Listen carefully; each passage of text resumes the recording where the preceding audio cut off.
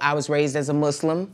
I understand submission. I respect, you, you, know, the institution of marriage. And when I take my vows, those mean something to me. Should. And so I respect what we have, which is why I could be friends with a straight man and never cross any any boundaries. Now, my husband It's not that, that he don't. That, that's that's that's that's that's that's that's what I'm trying to get to. Because you want me to speak for him. Yeah, please do.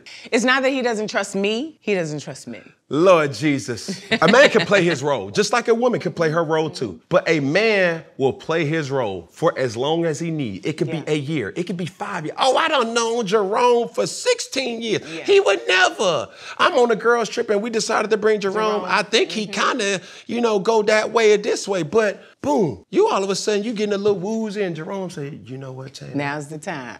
Jerome has just I been just waiting. really want to tell you how much I love you.